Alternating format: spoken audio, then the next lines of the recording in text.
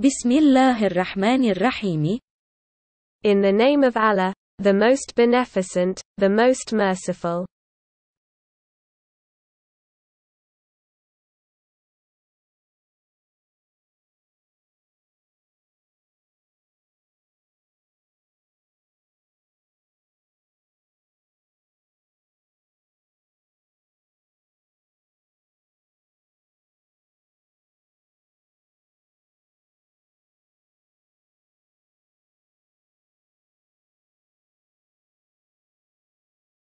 Since money came into use in the ancient world, there has been counterfeiting.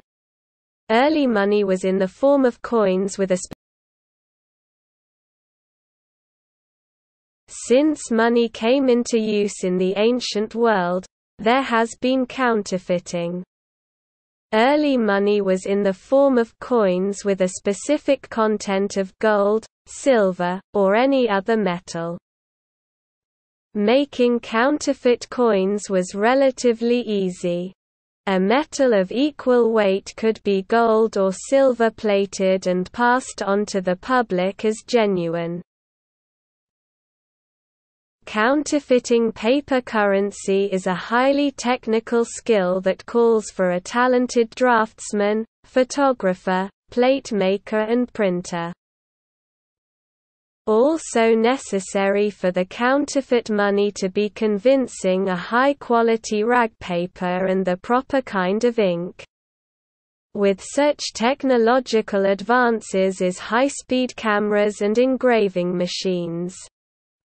The time needed to produce counterfeit money has been shortened and the quality of the work improved.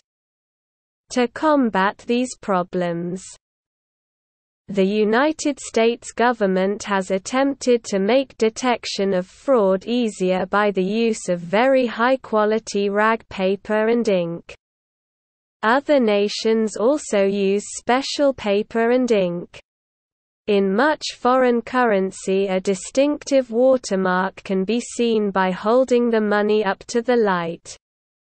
Counterfeiting is a criminal offense in nearly every country a convention signed by many nations in Switzerland in 1929, provided for the centralization and cooperation of international police action to combat counterfeiting.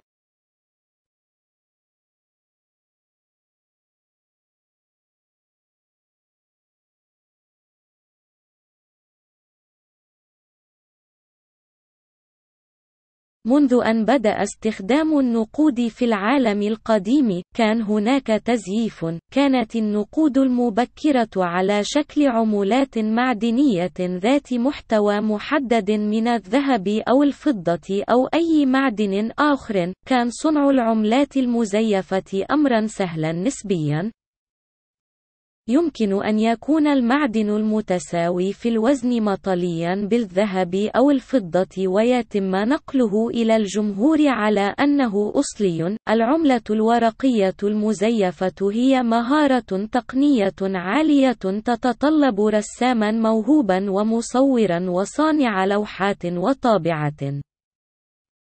من الضروري أيضا أن تكون النقود المزيفة مقنعة هي ورق خرقة عالي الجودة ونوع حبر مناسب. مع التقدم التكنولوجي مثل الكاميرات عالية السرعة وآلات النقش، تم تقصير الوقت اللازم لإنتاج النقود المزيفة وتحسين جودة العمل. لمكافحة هذه المشاكل، حاولت حكومة الولايات المتحدة تسهيل اكتشاف الاحتيال باستخدام ورق خرقة وحبر عالي الجودة. تستخدم الدول الأخرى أيضًا ورقًا وحبرًا خاصين. في كثير من العملات الأجنبية، يمكن رؤية علامة مائية مميزة من خلال إبقاء الأموال في الضوء. يعتبر التقليد جريمة جنائية في كل بلد تقريبا.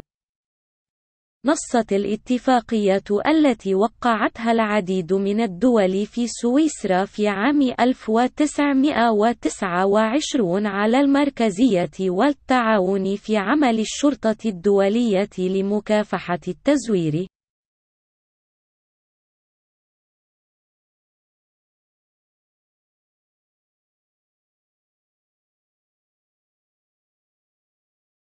Since money came into use in the ancient world, there has been counterfeiting.